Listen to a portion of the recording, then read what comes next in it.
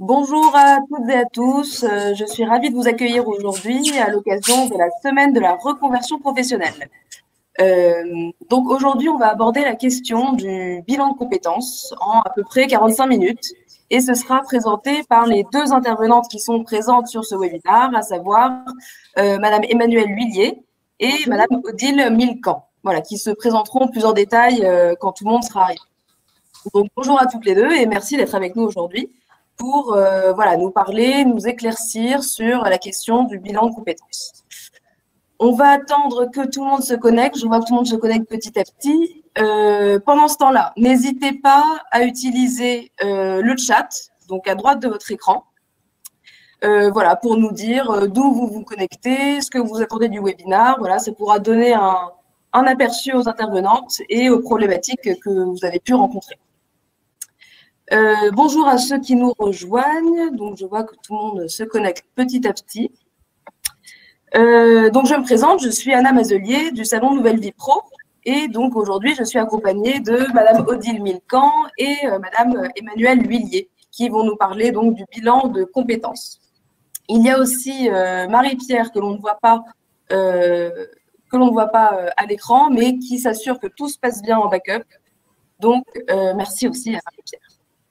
Euh, quelques mots rapides sur le fonctionnement de la plateforme avant de commencer. Donc, comme vous avez pu le voir à droite de votre écran, vous avez euh, un onglet chat qui vous permet à faire des commentaires, euh, nous saluer comme vous le faites là en ce moment, nous dire qui vous êtes, si vous avez des soucis techniques de son, d'image, etc. Et à côté, vous avez un onglet de questions. Donc, c'est cet onglet-là euh, qui va vous permettre de poser des questions euh, aux intervenantes ou aller euh, dans le sens des questions qui ont été posées par des participants et qui pourraient potentiellement vous intéresser aussi. Donc, les intervenantes répondront à vos questions à la fin du webinaire, donc dans les dix dernières minutes. voilà. Qu'est-ce que vous avez d'autre à savoir? Il y a aussi un replay de ce webinaire qui sera disponible quelques minutes à la fin de de ce webinaire. Voilà, donc vous pouvez le revisionner sans problème avec la présentation, il y aura tout. Euh, voilà, donc je vois que pas mal de gens se connectent. Encore, euh, on va attendre encore deux, minutes, une minute ou deux. Euh, en attendant quelques mots sur Nouvelle Vie Pro. Donc pour ceux qui ne connaissent pas, Nouvelle Vie Pro, c'est un dispositif qui existe maintenant depuis 7 ans. voilà, pour accompagner toutes les personnes qui décident de prendre un nouveau départ professionnel. Donc que ce soit euh, reprendre une formation, euh, monter une boîte, euh, changer de métier, évoluer, enfin peu importe. voilà, c'est vraiment ce qui concerne le nouveau départ professionnel. Donc pour ça, on a créé un site web qui s'appelle donc nouvelleviepro.fr et qui publie tous les jours des actus. Voilà, vous voyez sur la diapo, donc des actus sur la reconversion professionnelle. voilà. Vous pouvez également vous inscrire euh, à la newsletter. Voilà, deux fois par mois, vous recevez une newsletter gratuitement, donc liée aux actus euh, de ce sujet-là. Euh, Nouvelle Vie Pro, c'est aussi un salon. Donc, après l'avoir reporté une fois, vous pouvez voir que donc on a décidé de le passer en digital. Donc, c'est un format qui est très, une édition très spéciale pour nous cette année, qui s'organise autour de webinars et de contenus web exclusifs sur donc toutes ces thématiques de la reconversion professionnelle avec, euh, comme on a la chance d'avoir les deux intervenantes, des acteurs de la reconversion, voilà, pour vous accompagner dans vos projets. Euh, voilà pour Nouvelle Vie Pro. Euh, je vais laisser maintenant la parole aux deux intervenantes, Emmanuel Huillier et Odile Milcan, pour leur présentation sur le bilan de compétences. Merci beaucoup. Bonjour, merci Anna pour, euh, ce début. Donc, je me présente, je suis Emmanuelle Huillier, responsable du DABM Paris. Et je présente ma collègue Odile Milcan, qui est référente du bilan de compétences DABM au niveau de l'Académie de Créteil. Avant de parler du bilan de compétences, nous allons quand même présenter notre structure en quelques mots. DABM, ça veut dire quoi? Dispositif Académie de bilan et mobilité. Nous dépendons du ministère de l'Éducation nationale. Nous proposons des prestations d'accompagnement individualisées à la mobilité professionnelle pour tout type de personnes, salariés d'entreprise, quel que soit le secteur d'activité, demandeurs d'emploi, agents de la fonction publique, auto-entrepreneurs. Alors, sachez que nous intervenons sur toute la France, y compris dans les dom Odile, est-ce que tu veux rajouter quelque chose?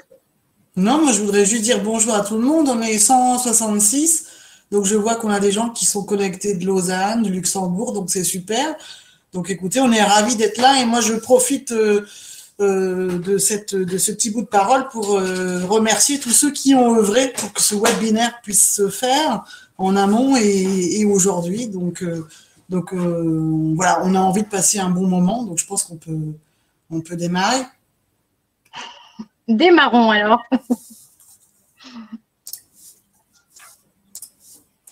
Donc en fait, euh, sur 45 minutes, on va, on va essayer d'avoir en fait un regard tous ensemble un peu concret sur le bilan de compétences. Vous allez être euh, mis à contribution euh, dans les trois prochaines slides.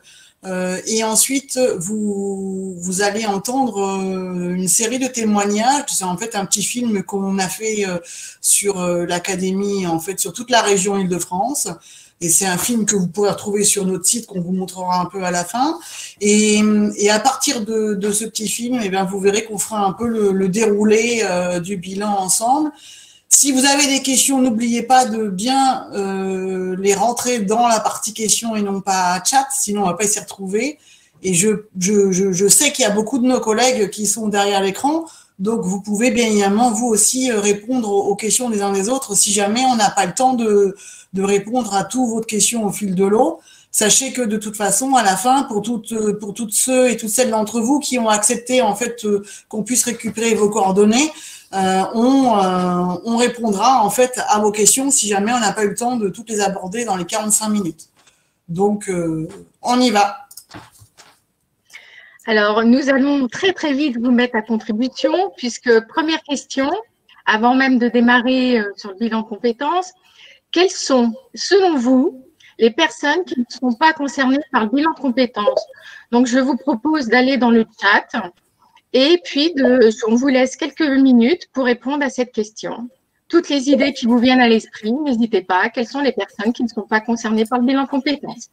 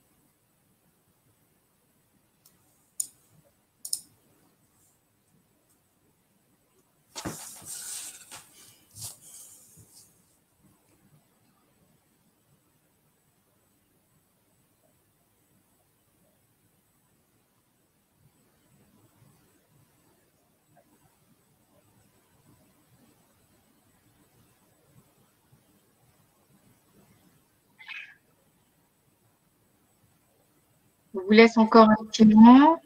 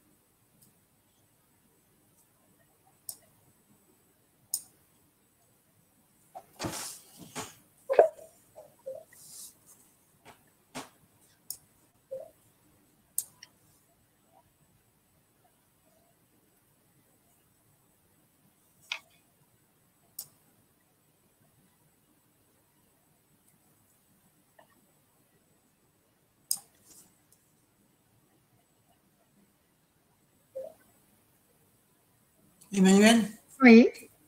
Je pense que tu peux y aller. D'accord. Alors, j'ai vu plein de, plein de réponses très plus intéressantes euh, les unes que, que les autres.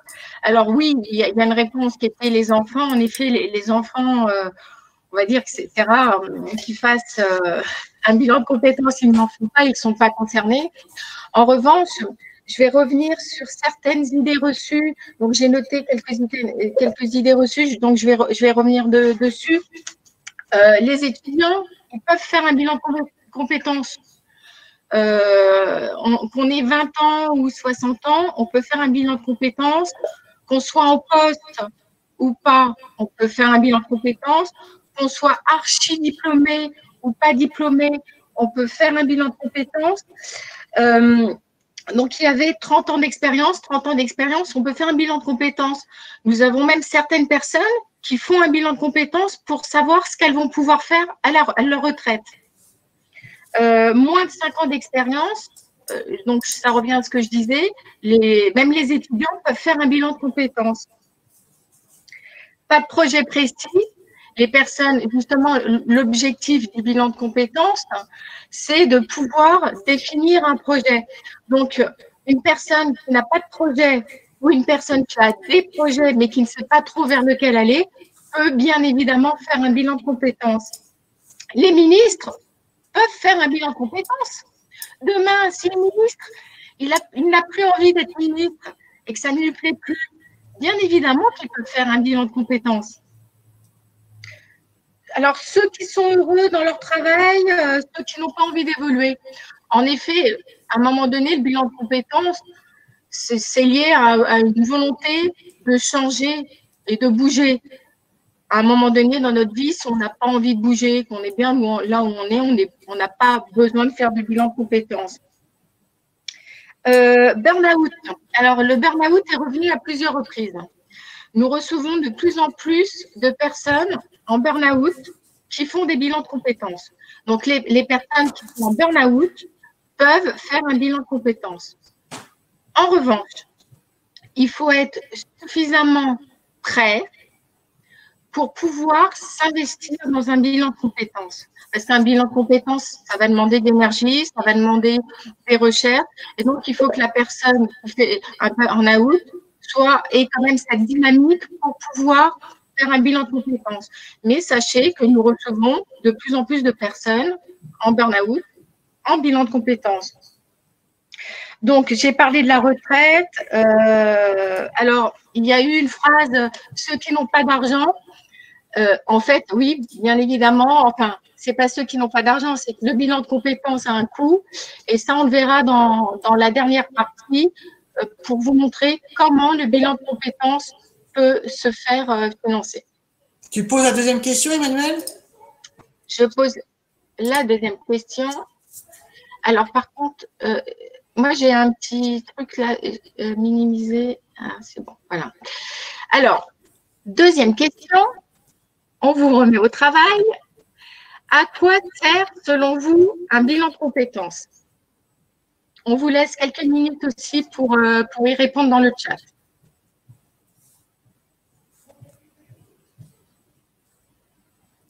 pendant que vous travaillez, je vois vos questions, ne vous inquiétez pas, il y a beaucoup de vos réponses qu'on va apporter là au, cours de au cours de notre entretien. Donc volontairement, je réponds pas. Euh, les spécifiques, on les retiendra pour la fin, mais euh, vous allez avoir beaucoup de réponses là qui vont qui vont arriver.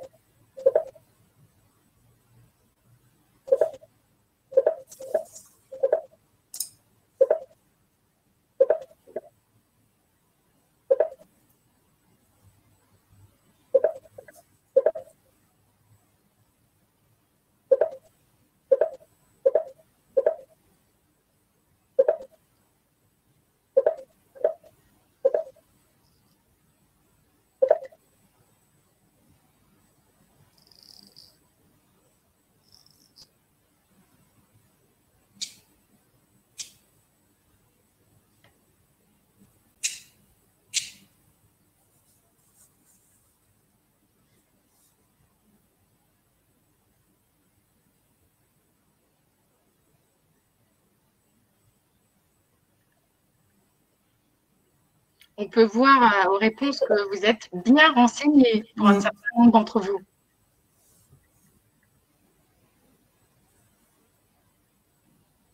On peut montrer la diapo suivante, Emmanuel?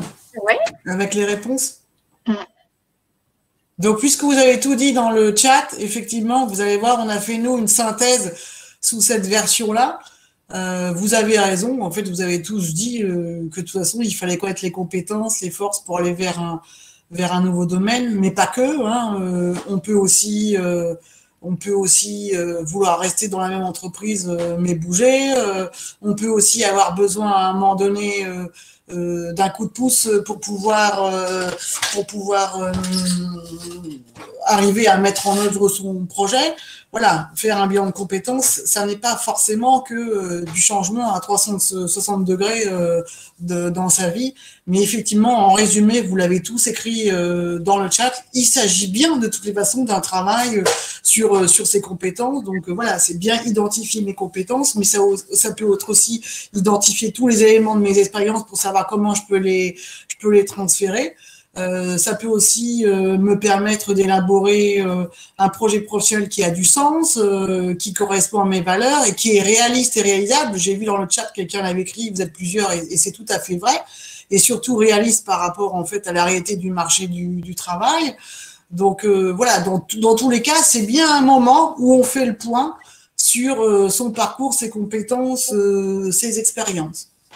Et pour, pour, ajouter euh, une petite chose par rapport à ce que tu dis, Odile, euh, ça peut être aussi à un moment donné pour confirmer qu'on est bien au bon endroit. C'est-à-dire que certaines personnes font un bilan de compétences parce qu'elles sont plus sûres d'être au bon endroit. Le bilan de compétences va les rassurer sur l'endroit où elles sont aussi.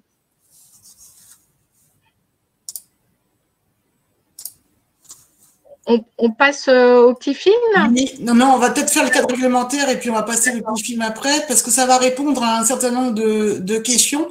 Le cadre réglementaire, là, vous avez, euh, vous le verrez quand vous recevrez le PowerPoint, euh, donc un certain nombre de références. On ne va pas rentrer dans, la loi, simplement, il faut juste savoir que sur la loi de la liberté de choisir son avenir professionnel, le bilan de compétences, il est référencé comme des actions concourant au développement des compétences. Ça, c'est une chose.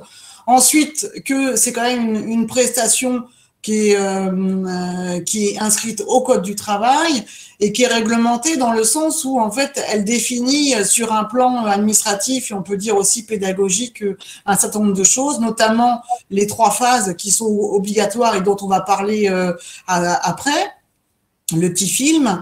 Et puis, et puis, il faut que vous sachiez aussi que la durée du bilan, elle est, elle est inscrite dans la loi. Donc, c'est 24 heures maximum. Il n'y a pas de mini, mais il y a un, il y a un maxi. Donc, on en parlera aussi. Et elle s'adresse surtout avec euh, la nouvelle loi à tout le monde. Le bilan de compétences, tout le monde peut faire un bilan de compétences, quel que soit euh, votre, votre statut. Euh, donc, euh, quand vous êtes demandeur d'emploi, quand vous êtes euh, salarié, quand vous êtes indépendant, tout ce que vous voulez, ça fonctionne aussi. Il faut savoir qu'un bilan de compétences, ça n'est pas quelque chose qu'on subit, on le choisit. Donc, on ne peut pas vous obliger à faire un bilan de compétences. Donc, clairement, dans une entreprise, un employeur ne peut pas obliger un salarié. Il faut que vous sachiez aussi que le bilan de compétences ne peut être fait que par un organisme extérieur à l'entreprise. Hein. L'entreprise ne peut pas faire un bilan en interne. Ça, c'est ça, c'est pas possible. Voilà.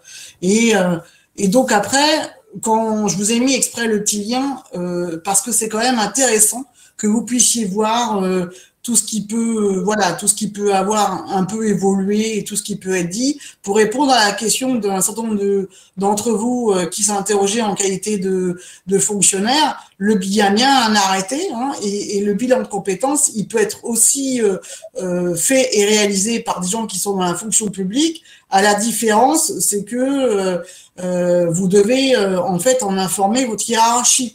D'accord? Voilà. C'est qu'en fait, c'est quelque chose où vous allez euh, parler euh, probablement euh, avec vos, vos, votre M plus 1 lors de vos entretiens annuels. Et, donc, bah, du même coup, du même coup, la procédure, elle suit un peu, elle, suit un peu la procédure hiérarchique dans l'administration dans laquelle vous vous trouvez. Mais bien évidemment que quand on est, euh, quand on est euh, titulaire de la fonction publique, quelle qu'elle soit d'ailleurs, euh, on y a droit. On y a droit au bilan de compétences. Merci pour ces explications, Odile. Pardon? Je te remercie pour toutes ces explications légales. Donc là, on peut peut-être euh, passer le petit film? Oui.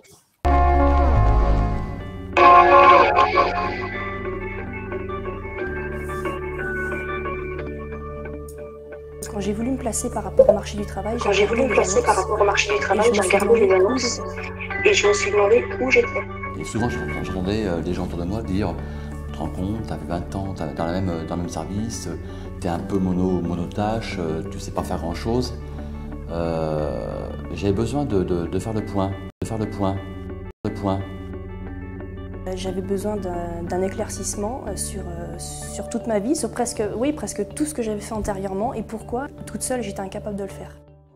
C'est un outil, un dispositif fiable qui va permettre vraiment euh, d'avoir une réflexion euh, argumentée, réfléchie euh, par rapport à son évolution professionnelle. J'étais soignante depuis quelques années et je rencontrais en fait une, une, espèce de dépression en fait. Je cherchais. J'étais en plein de questionnements par rapport à ma carrière qui a démarré très jeune, à 14 ans. J'ai 48 ans et j'avais envie de m'orienter vers une autre voie, enfin toujours artistique. Et donc mes questions étaient euh, justement sur un, une orientation euh, autour de la musique. Donc c'était euh, déjà une présentation, se, se connaître soi, euh, ensuite connaître, euh, faire le lien entre sa vie professionnelle et personnelle antérieure, qui a une conséquence finalement bah, sur l'un ou l'autre. Et ensuite c'était vraiment se diriger vers un domaine par rapport à nos points forts, euh, nos points faibles, voilà ce qu'on ne veut plus retrouver. Euh. et ensuite, c'est voilà, on, on dégrossit en fait et on arrive à un résultat. Le fait de faire cette démarche euh, permet de remettre de la valeur sur ce qu'on a produit, sur ce qu'on a fait, sur ce que l'on est. On va leur proposer un certain nombre de questions pour qu'elles obtiennent des informations qui leur seront indispensables pour pouvoir réaliser cette enquête. Alors ce que ça a apporté sur mes projets euh, professionnels, c'est déjà beaucoup plus de dynamique. En fait, dès que je suis rentrée euh, dans cet accompagnement, euh, j'ai dû envoyer cinq appels à projets. Et voilà, j'ai répondu à pas mal, euh, beaucoup d'offres de, de, recrutement. J'ai créé euh, une entreprise il n'y a pas très longtemps dans l'esthétique pour justement avancer marche par marche. Ça vous permet aussi d'analyser euh, vos compétences, euh, vos acquis et de savoir un peu mieux euh, où vous situez et où vous devez, où vous pouvez, vers quoi vous pouvez aller. Sans bilan de compétences, je serais allée vers une direction qui, qui n'était peut-être pas forcément la mienne. Et euh, je me serais encore une fois euh, trompée de voie. Je recommande le bilan de compétences euh, à tous les gens qui sont dans le questionnement euh, concernant leur, leur, évolution de carrière, leur changement de métier, euh, leur formation. Entre le, le, avant et le après, euh, il y a la, une prise de conscience. Conscience de ce que j'avais en moi que je n'avais pas avant. Le bilan, c'est pas quelqu'un qui nous dit tu, il faut que tu fasses ça, que tu vas faire ça. Non, c'est pas ça. On nous pose des questions et grâce à ça, on arrive à faire un travail sur soi-même et c'est nous qui choisissons ce que nous allons faire de notre vie professionnelle.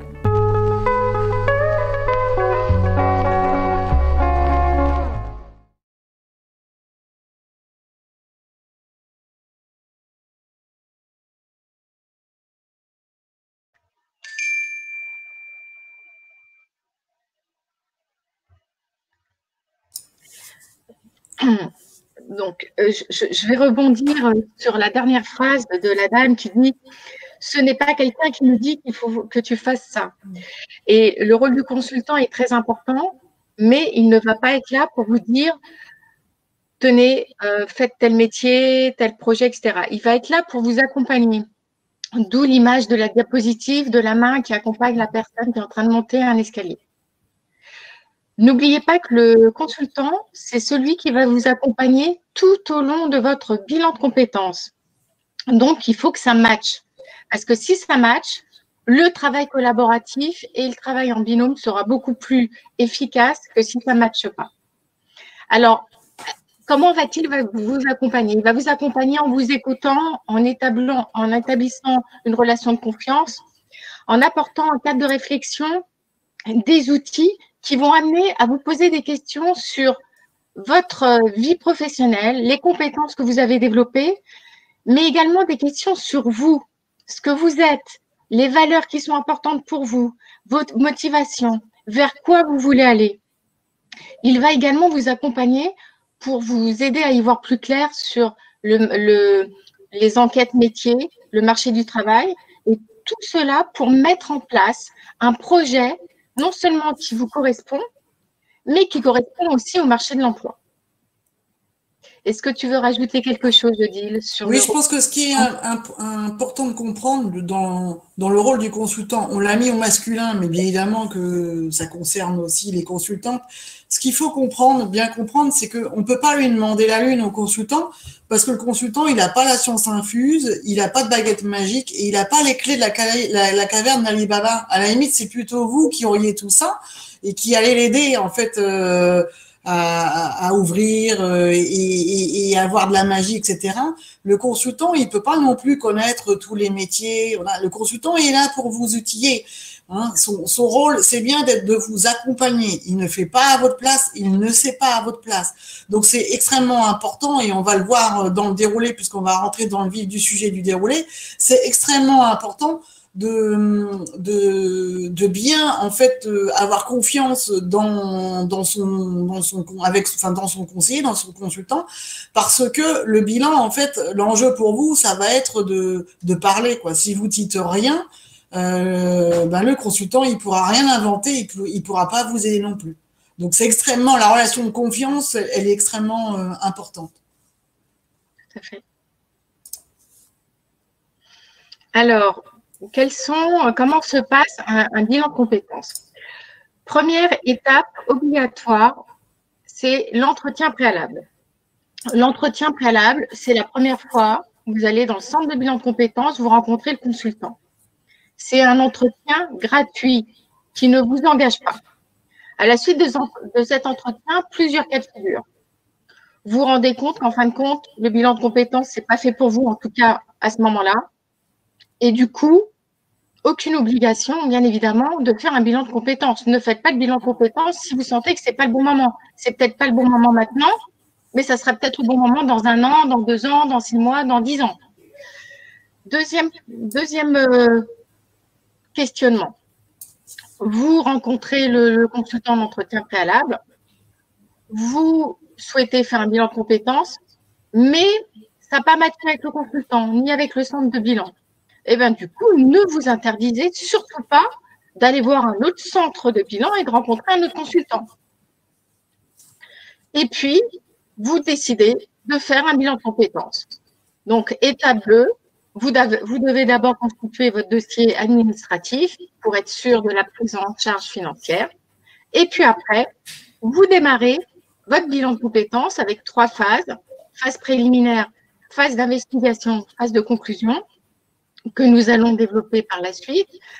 Alors, ce qu'il faut retenir, Odile l'a dit tout à l'heure, c'est qu'un bilan de compétences, ça dure maximum 24 heures avec une alternance d'entretien individuel en face à face et une alternance de travail en autonomie. Donc, il faut quand même avoir envie de, de travailler, de faire des recherches sur Internet et voilà, il faut avoir cette autonomie. Quand on dit 24 heures, vous, maximum, vous devez vous poser des questions, mais 24 heures, entretien, face à face, euh, autonomie, combien? Je vais vous donner un exemple. Pour quelqu'un, et ce n'est qu'un exemple, hein, à titre indicatif, pour quelqu'un, par exemple, qui souhaiterait changer de secteur d'activité et de, et de métier, globalement, généralement, il a un bilan de compétences avec 12 heures à 16 heures d'entretien de face à face et entre 8 heures et 12 heures de travail en autonomie. Alors, quand je parle d'entretien de face à face, qu'est-ce que j'entends par entretien face à face? Donc, ce sont des entretiens individuels, donc à chaque fois. La plupart du temps, les entretiens, ils sont réalisés dans le centre de bilan de compétences. Mais il se peut que pour des raisons professionnelles ou parce que pour vous c'est difficile de vous déplacer ou parce qu'il y a un confinement que vous ne puissiez pas vous déplacer.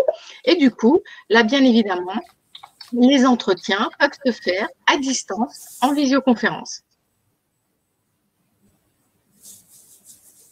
Est-ce que tu veux rajouter quelque chose, Odile, avant, de, avant qu'on passe à la phase, au détail? Non, je, voulais, je voyais la, question de Catherine. Si le premier consultant ne nous plaît pas, pouvons-nous changer en cours de formation? Alors, euh, si, alors, c'est l'entretien préalable qui va, qui va, qui va définir euh, si le, le, consultant plaît ou pas. Donc, nous, ce qu'on propose, c'est quand lors de l'entretien préalable, quand le consultant ne plaît pas, le, bénéficiaire qui vient chez nous, euh, on propose de rencontrer un autre consultant. Après, à un moment donné, mais ça n'arrive jamais, mais si la, vous, la première personne ne vous plaît pas, la deuxième personne ne vous plaît pas, la troisième personne ne vous plaît pas, là, je crois qu'il faut vraiment, à un moment donné, se poser la question si vous avez vraiment envie de faire des bilans de compétences. Après, il peut arriver, mais c'est très, très rare, que au démarrage du bilan, moi, ça m'est arrivé une fois en quatre ans, trois ans et demi, que euh, après les deux, trois premières heures de la phase préliminaire, que, qui, se passe, que ça se passe pas bien. Et donc, exceptionnellement, euh, on change de consultant. Mais le mieux, quand même, c'est de se faire vraiment une idée à cet entretien préalable. Et si vous ne sentez pas les choses, il ne faut pas être dans de la politesse. Il ne faut pas hésiter à dire. Ça ne veut pas dire que la personne qui vous a reçu n'est pas bonne et n'est pas professionnelle, mais ça veut dire que ça n'a pas matché. Eh bien, ça ne matche pas avec tout le monde. Donc, faites-vous confiance lors de l'entretien préalable parce que c'est dommage quand le bilan a un petit peu démarré de se dire là, mais non, c'est pas avec lui ou pas avec elle que j'ai envie de le faire. Donc, sur le diaporama, là, vous voyez, par rapport au schéma, je vous disais tout à l'heure, dans le cadre réglementaire, il y a trois phases obligatoires c'est la 3, la 4 et la 5. Donc, qui que vous soyez, où que vous alliez, de toute façon, le bilan de, compétences comportera forcément la phase préliminaire, la phase d'investigation et la phase de conclusion. C'est une obligation de la loi. Donc justement, la première phase préliminaire, qu'est-ce que je fais là-dedans? Quand j'arrive là, donc quand j'arrive là, c'est que j'ai démarré, hein, je démarre mon bilan, donc j'en je suis au démarrage. Et qu'est-ce que je vais faire là? Eh bien, je vais confirmer avec le consultant mon engagement en toute connaissance de cause dans la démarche euh, du bilan. Donc, je vais avec le consultant toujours bien redéfinir en fait euh, mon ou mes objectifs, hein, parce que ça va être la ligne rouge et le fil rouge de tout mon bilan. Qu'est-ce que je vais faire? Ben, je, vais, je vais savoir pourquoi je suis là, hein. je, vais, je vais discuter avec lui, je vais bien vérifier. Et puis, euh, je vais aussi euh, lui poser euh, des questions auxquelles, en fait, voilà, j'ai réfléchi entre l'entretien préalable et, le jour où je, suis devant lui dans la phase préliminaire, pardon, oui, préliminaire. Et puis, je vais aussi l'interroger hein, sur sur mes contraintes. Est-ce qu'elles vont être prises en compte, mes contraintes, quand je vais être engagé dans le bilan? Hein, donc, mes contraintes de vie euh, personnelles et professionnelles. Et là, euh, effectivement, on arrive sur une phase de planification du parcours et on est bien obligé de prendre en compte, bien évidemment, votre situation, hein, quelle qu'elle soit. Hein. Est-ce que vous faites sur le temps de travail? Est-ce que vous faites hors temps de travail? Et est-ce que vous avez un handicap avéré? Est-ce que vous avez des obligations de santé, etc. Tout ça, ça rentre en ligne de compte. Et puis après, euh, vous allez faire aussi euh, le, point sur tout ce, sur ce point vous allez travailler avec, euh, avec le consultant sur toute la durée du bilan. Tu veux ajouter quelque chose, Emmanuel? Alors, je veux seulement répondre à une question, mais je, vois qu'elle a été répondue dans le chat. J'ai oublié de le préciser, en effet. L'entretien préalable dure une heure. Et après, la phase préliminaire, en fait, ça dépend euh, du temps euh, euh, du temps du déroulement du bilan de compétences, hein, la phase préliminaire. Ensuite, la phase d'investigation. Alors, très souvent, bilan de compétences, donc on pense à compétences et les compétences qu'on va pouvoir transférer. Mais dites-vous bien que si vous faites un bilan de compétences, il n'y a pas d'un côté ce que vous êtes personnellement, et de l'autre côté, ce que vous êtes professionnellement parlant? On va travailler sur votre personnalité dans votre globalité.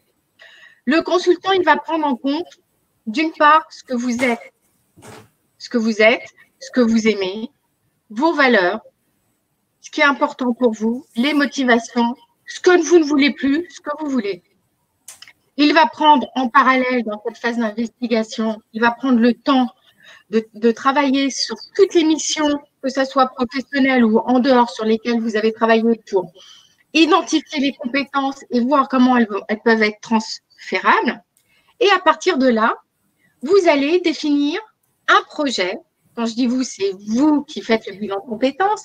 Vous allez définir un projet qui permet de faire le lien entre ce que vous êtes personnellement et ce que vous, ce que vous avez fait professionnellement parlant. Et là, par rapport à ce projet, vous allez faire des enquêtes, vous allez vous renseigner sur Internet, vous allez interviewer des gens pour y voir plus clair et pour que votre projet y soit clair.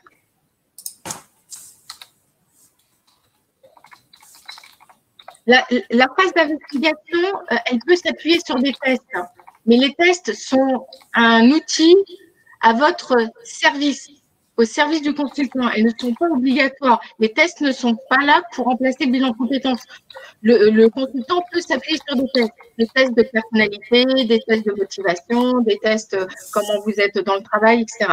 Mais vraiment, euh, un certain nombre de personnes viennent nous voir et nous demandent tout de suite est-ce que vous faites des tests? Oui, on fait passer des tests, mais ce n'est pas le test qui fera un bon bilan de compétences. C'est le travail collaboratif vous mènerez avec le consultant. Odile, si tu veux rajouter quelque chose. Oui, ce que je voulais dire, c'est voilà, qu'effectivement, euh, euh, ça répond aussi à certaines euh, questions concernant la certification des consultants, etc quand vous passez des tests, et encore une fois, ça n'est pas une obligation. Hein, il y a des gens qui font des bilans de compétences et qui ne qui n'ont pas de test, hein, parce que ça c'est ça c'est aussi un choix qui est fait euh, euh, en accord avec le consultant. Le consultant, du coup, il est il, est habilité pour faire certains tests, pas tous les tests, mais il y a certains tests d'éditeurs, etc., qui nécessitent des habilitations. Hein. En règle, en règle générale, c'est comme ça que ça se passe parce qu'il faut être habilité pour, euh, pour faire passer le test et puis ensuite pour restituer les résultats. Sinon, ça n'a pas de sens. Merci. Sur la phase de conclusion, qui est la dernière phase obligatoire euh, du bilan, vous voyez là, j'ai mis en jaune. Ensuite, on dégrossit, on arrive à un résultat. C'est ce qu'on a entendu dans le petit film. C'est exactement ça. On arrive là en fin de, en fin de parcours de votre bilan. Et en fait, votre bilan, il va être, euh, il va, il va être synthétisé dans ce qu'on appelle le document de synthèse, hein, qui va reprendre, qui va être co-construit avec votre consultant et qui va reprendre tout le travail que vous avez fait depuis le début de manière synthétique euh, dans le cadre de votre, euh, dans votre, dans le cadre de votre bilan. Et, forcément, ça, va donc déboucher sur un, projet principal qui est, comme on l'a dit tout à l'heure, et vous l'avez écrit dans le chat, réaliste et réalisable. Hein. Vous pouvez aussi avoir l'idée d'un projet alternatif parce qu'on ne sait jamais. Et pour, et pour pouvoir mettre en œuvre ce projet, ben, vous allez définir votre plan d'action. Donc, dans votre plan d'action, ben, vous allez identifier euh, tous les moyens euh, que vous, que vous pouvez avoir et que vous, devez avoir pour pouvoir euh, mettre en œuvre votre projet, votre projet. Donc, le document de synthèse, en fait, il arrive, si vous voulez, il est, il est un peu le document fil conducteur de votre, de votre parcours. Et, euh, et, donc, à la fin, en phase de, de conclusion, et eh ben, euh, vous le retravaillez avec euh, le consultant. Et surtout, sachez que ce document-là de synthèse, il vous est remis à vous, d'accord? Et seulement à vous. Et en aucun cas, il ne peut être transmis à quelqu'un d'autre sans votre accord. Hein? Voilà, ce n'est pas un document qu'on envoie, qu'on balade, etc. On est obligé d'avoir euh, d'avoir euh, l'accord, euh, votre accord du l'accord du bénéficiaire pour pouvoir diffuser le bilan, y compris aux conseillers en évolution professionnelle, si jamais lors de votre travail avec le conseiller en évolution professionnelle, parce que je vois qu'il y a des questions là-dessus, vous décidez de faire un bilan. voilà, il faut que effectivement vous puissiez donner votre accord pour que la synthèse elle puisse être communiquée au conseiller en évolution professionnelle ou à quelqu'un d'autre d'ailleurs. Et, pour rebondir sur ce que tu dis, Odile, même si c'est votre employeur qui a payé le bilan de compétences, il ne, ne, peut pas vous imposer de lui donner le résultat de votre document de synthèse. Par contre, à vous de voir si à un moment donné, ce document de synthèse ne peut pas être un argument pour vous pour défendre peut-être un poste en interne. Mais c'est à vous de le décider. En tout cas, si vous n'avez pas envie, même si c'est votre RH qui a payé le bilan de compétences, si vous n'avez pas envie de montrer le résultat de votre synthèse, vous ne le montrez pas, c'est un document qui vous appartient.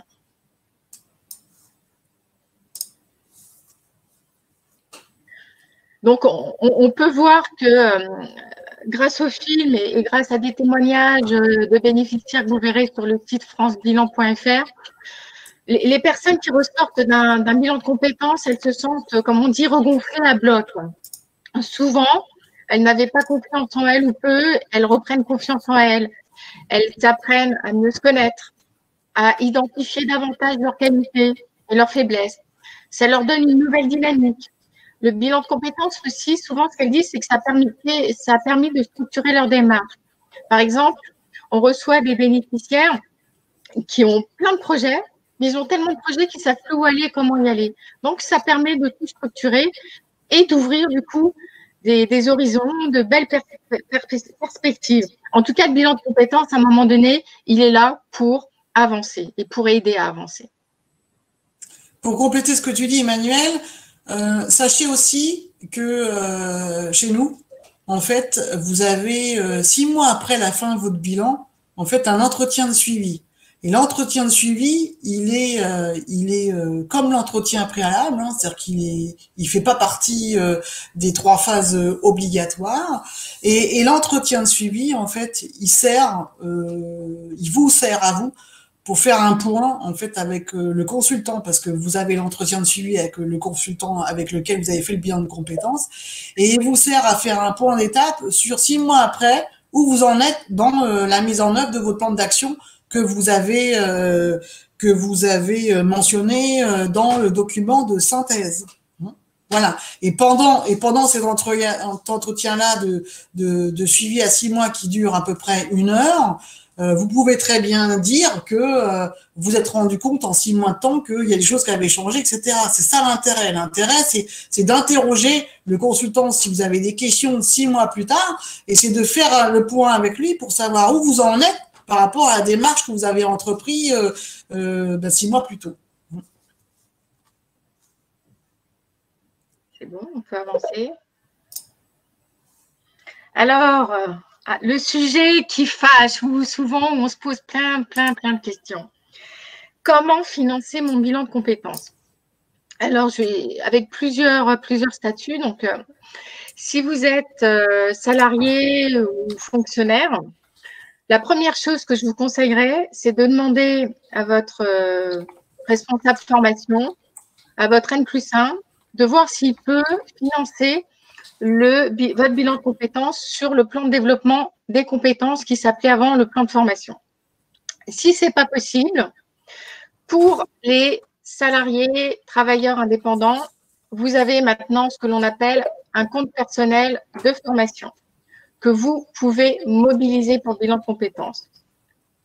Si vous n'avez pas assez d'argent sur votre CPF, deux possibilités ou bien vous demandez à votre employeur de financer la différence, ou bien vous financez vous-même la différence.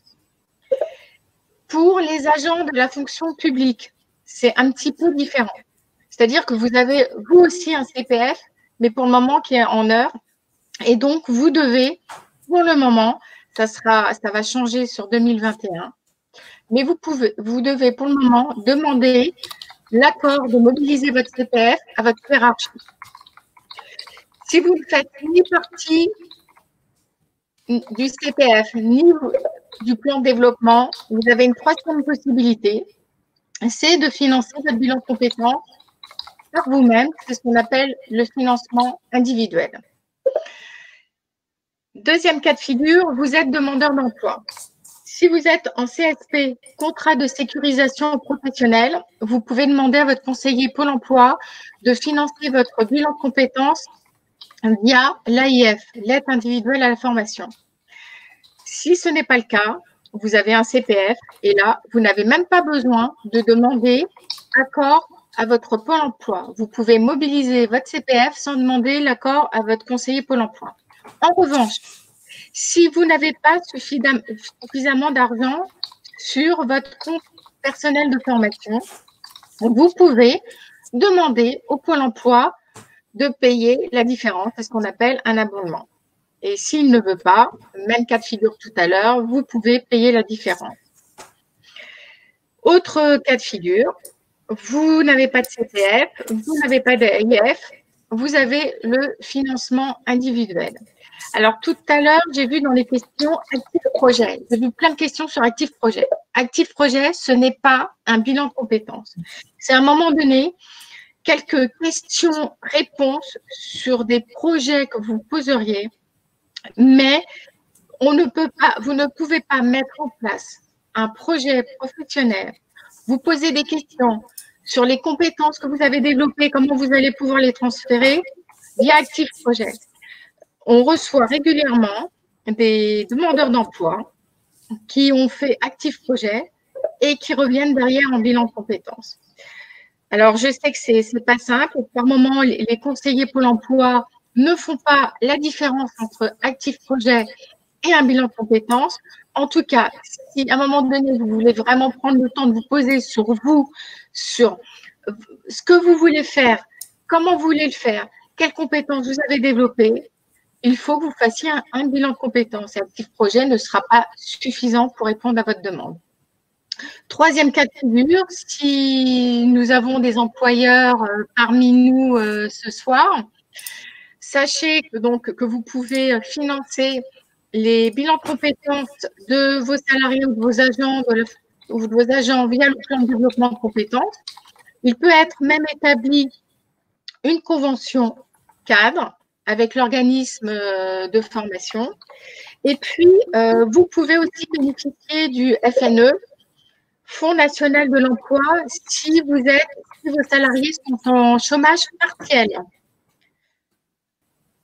ce qui a été mis en place euh, lié à la crise sanitaire. Donc voilà, vous pouvez, euh, il faut l'accord du, bénéficiaire, donc l'accord bien évidemment de l'employeur, et après l'accord d'un troisième tiers qui est l'OPCO.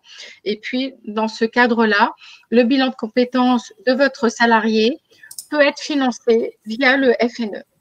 Est-ce que tu veux rajouter quelque chose, Odile? Non, parce que je vois qu'on est un petit peu en retard. Anna, il nous reste euh, quelques minutes ou pas? Euh, Revoilà. On a dépassé?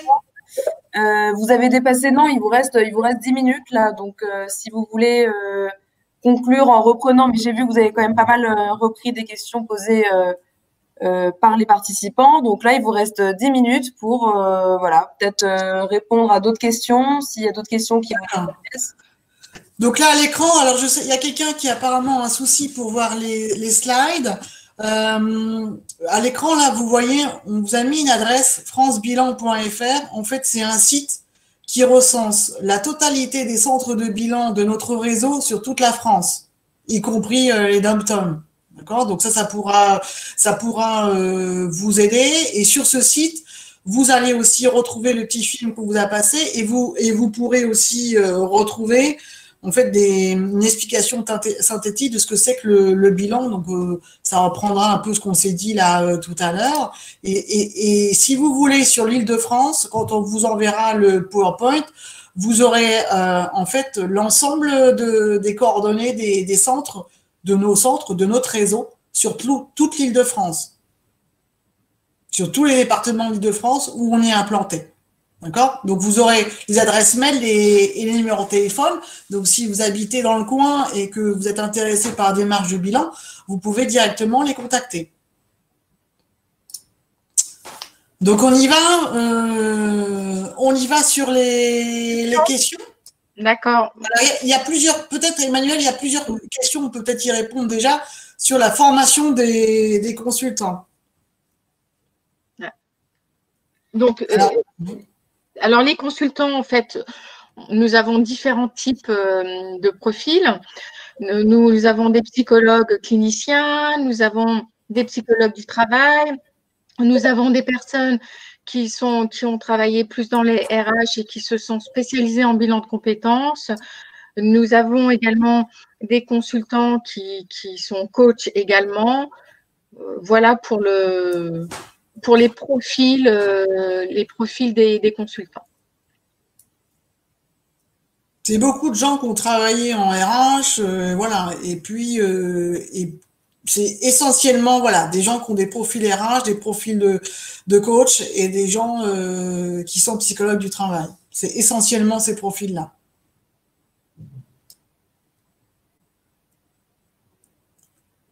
Euh,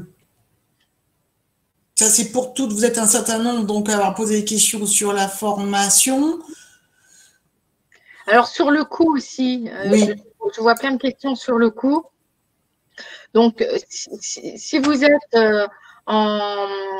Si vous mobilisez votre CPF, le coût, c'est 1750 euros pour un bilan de compétences de, de 24 heures avec entre 12 heures et 14 heures d'entretien de face à face et 12 euh, heures de travail en autonomie. Si vous êtes euh, financé par le Pôle emploi en AIF, là, le coût sera de 1500 euros. Et si c'est financé sur le plan développement de compétences, là, le, coût euh, sera plus élevé. De toute façon, le coût, il est forcément il n'y a pas de coût, il y a, un coût variable. Votre durée, elle est, elle est, elle est, elle est variable, hein, puisque si on reprend ce qu'on s'est dit tout à l'heure, la durée, elle va, elle va être fonction de vous, de votre problématique, de vos questions, de votre objectif et de la maturation de votre projet, où vous en êtes, dans quel état vous êtes, où vous voulez aller, etc. Donc oui, quand vous allez sur euh, sur l'appli CPF, vous voyez bien, euh, vous avez dû voir, hein, il y a des gens qui, proposent des bilans de 9 heures, des bilans de 10 heures, des bilans de 12 heures. Donc forcément, le coût, il peut pas être identique à quelqu'un qui fait euh, un bilan de, de 24 heures. Hein. Donc voilà. Après, après, c'est sûr que vous allez vous rendre compte par vous-même que dans l'appli, que vous allez avoir des variations de coûts qui sont assez assez importantes. Alors, je vois une question, et c'est vrai que par rapport au profil des consultants, c'est peut-être euh, intéressant de le dire. Avez-vous des consultants architectes d'intérieur? Euh, les consultants, ils ne sont, pas spécialisés dans un secteur d'activité ni dans, ni dans un métier. Après, certains ont plus peut-être une appétence euh, pour les arts, par exemple, et, ça, on va le prendre en compte, ou pour le social. Mais le principe, c'est de ne pas être spécialisé dans un secteur d'activité. Parce que imaginez, vous êtes architecte d'intérieur et vous souhaitez faire un bilan compétences parce que vous ne vous y retrouvez plus si le consultant n'a pas une vue élargie des secteurs d'activité, des métiers. Il aura beaucoup de mal à vous conseiller euh, et, à vous faire aller dans d'autres directions. Donc, les consultants ne sont pas spécialistes d'un secteur d'activité ni d'un métier, mais ont une palette suffisamment large pour pouvoir vous accompagner dans vos projets professionnels. Question, êtes-vous référencé chez Pôle emploi? Oui, nous sommes référencés euh, chez Pôle emploi. C'est l'un de nos grands, grands partenaires. Donc, le Pôle emploi connaît très bien le, DABM. Euh, avant, on s'appelait CIBC 75. Alors, par moment, certains nous connaissent encore sous le nom de CIBC 75 euh, ou CIBC 77. Ou... Mais le, Pôle emploi, nous travaillons beaucoup avec le Pôle emploi en partenariat.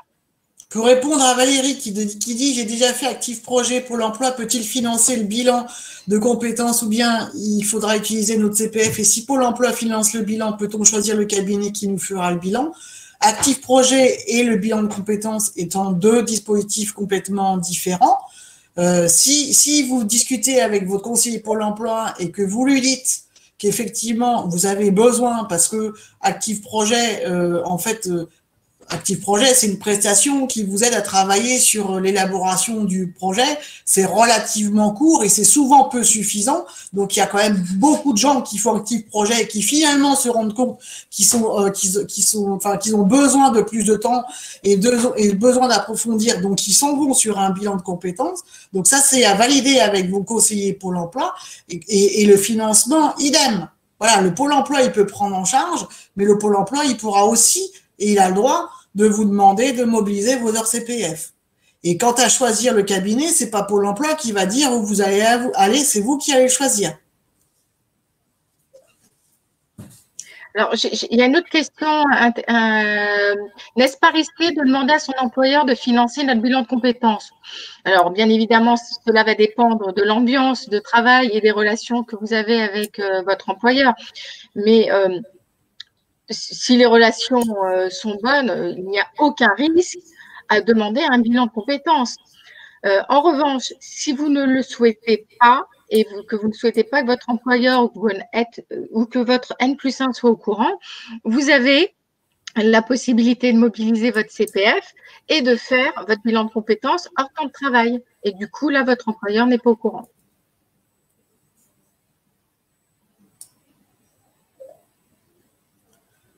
Alors, euh, Pôle emploi euh, me finance déjà une VAE, euh, j'ai le droit de cumuler ou c'est impossible, ça n'a rien à voir.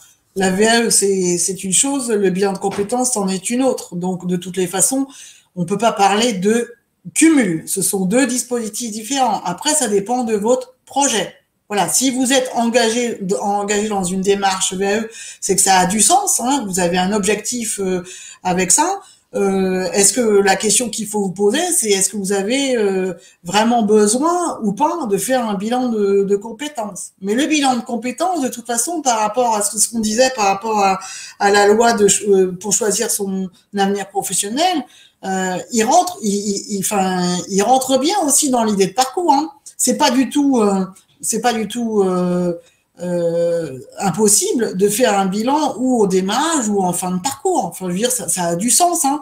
Euh, il y a beaucoup de gens qui font des bilans de compétences et qui, dans leur plan d'action, euh, indiquent que de toute façon, ils, ont besoin de faire une formation. Donc, ça veut dire que, effectivement, à l'issue du, bilan, ils vont, enchaîner pour pouvoir mettre en œuvre leur projet. Ils vont enchaîner sur une formation.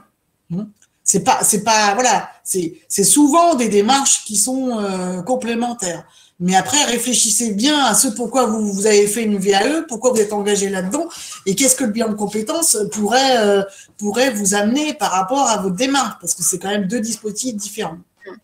Par moment, euh, les, par moment, les bénéficiaires ont tendance à aller un petit peu vite. Euh, je retrouve souvent en information collective des personnes qui, qui, se sont fait financer une formation par le Pôle emploi et reviennent euh, quatre mois après, ils ont arrêté la formation parce que ça ne leur correspondait pas. D'une part, ils avaient l'impression de gagner du temps et d'autre part, euh, ils, avaient le, sentiment que s'ils faisaient un bilan de compétences, après la formation ne serait pas financée par Pôle emploi. Ce n'est pas comme ça que ça fonctionne. Si vous avez une formation qui est claire dans votre tête, allez-y. En effet, ne faites pas de bilan de compétences. En revanche, euh, si vous ne savez pas où aller, dans quelle direction aller, quelle formation aller, faites un bilan de compétences. Et là, en fonction de votre projet, des formations seront proposées. Et le, fait d'avoir fait un bilan de compétences, ça sera un argumentaire de plus pour dire que votre projet, il a été mûrement réfléchi.